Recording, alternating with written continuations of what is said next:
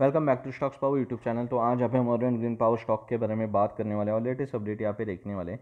तो Orion green power stock की बात की जाए तो आज अचानक से देख सकते कि काफ़ी तेज़ी देखने को मिले हमने पहले भी बात की थी क्योंकि दो तीन महीने स्टॉक के अंदर कोई मोमेंटम अच्छी नहीं है और स्टार्ट ऑफ़ द मंथ में ही मूवमेंट अच्छी देखने को मिलते हैं स्टॉक के अंदर। फिर यहाँ पे गिरावट होकर यहाँ पे वीक मूवमेंट देखने को मिलती है। हर महीने के पिछले तीन चार महीने से देखा जाए स्टार्ट ऑफ़ द मंथ में एक अच्छी मूवमेंट होती है।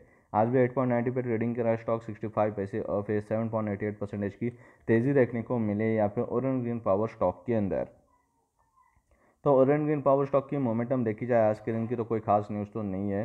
फिर भी जैसे कि प्रीवियस क्लोजिंग थी 8.25 आज गैप अप से ओपन हुआ 8.55 ओपन होने के बाद नाइन लेवल का रजिस्टर लगा नाइन लेवल के ऊपर सेटल नहीं हो पाया तो रजिस्टर लगते ही गिरावट यहाँ पे देखने को मिले स्टॉक के अंदर।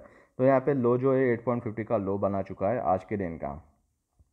मार्केट कैप जो है six hundred and sixty eight crore का है पी रेशो देखोगे तो फिफ्टीन पॉइंट ट्वेंटी सिक्स का यहाँ पे पी रेशो भी देखने को मिला है स्टॉक के अंदर।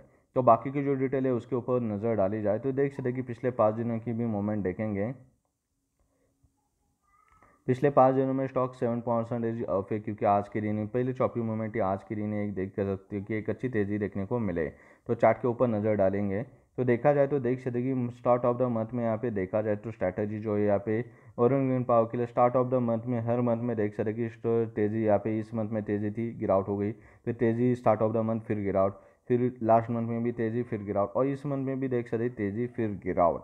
तो रिसेंटली देखा जाए तो देख सकते स्टॉक में नीचे भी आता है तो एट लेवल सपोर्टिव लेवल वैसे भी थी।